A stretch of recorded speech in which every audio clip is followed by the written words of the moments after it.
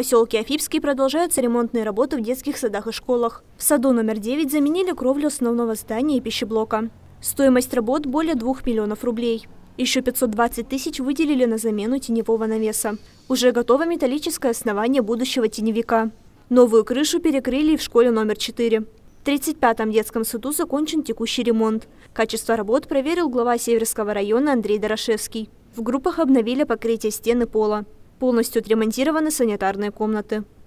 Да, здесь, конечно. Здесь вообще не было туалета. Здесь не было Отгородили, поставили, Да, да? да, мы отгородили, решили сделать.